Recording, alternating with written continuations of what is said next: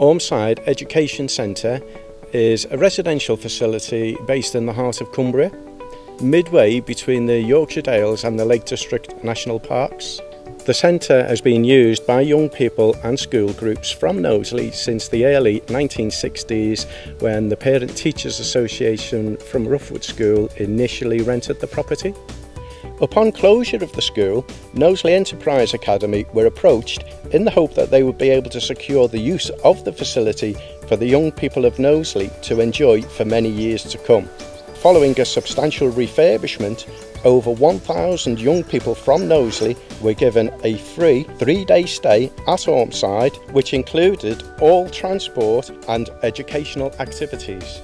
Each visiting group was asked to provide feedback on their overall experience. Whilst most feedback was extremely positive, a number of groups, especially large class sizes, commented that they would have liked a little more room, both in terms of sleeping arrangements and recreational space. Elaborate plans were drawn up to create a two-storey standalone structure incorporating comprehensive kitchen and dining facilities, a multi-use communal area and an additional four bedrooms, all with ensuite bathrooms. Alongside this, an extension to the existing station would house an accessible bedroom with adjoining wet room facilities.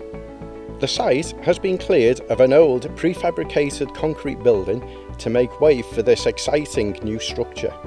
Following a comprehensive procurement exercise, Phase 8 Development Company have been chosen as contractors to carry out the work and production is well underway at their factory in Kirkby. Every aspect of the timber frame structure will be produced here in Knowsley before making the 100 mile journey to Ormside.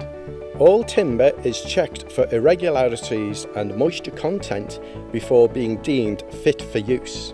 Phase 8 is registered with the programme for the endorsement of forestry certification, so all timber used by the organisation is from sustainable forest sources. Elements of the project to be produced in the factory include the design and build of a bespoke staircase, internal partitioning and structural beams and roof trusses.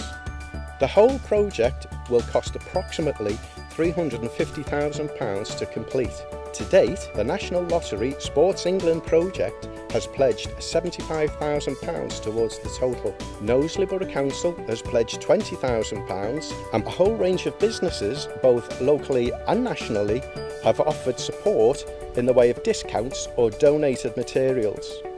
If you would like to find out more about this project, or indeed would like to help us with this exciting venture, then please do contact us.